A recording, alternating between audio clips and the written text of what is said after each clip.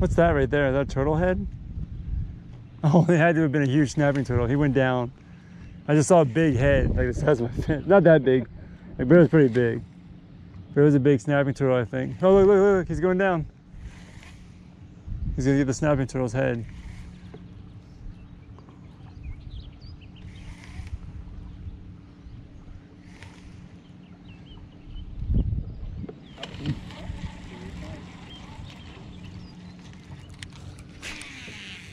What's he see? Dude, that's crazy. He got a goldfish Oh my. right in front of my eyes. Good.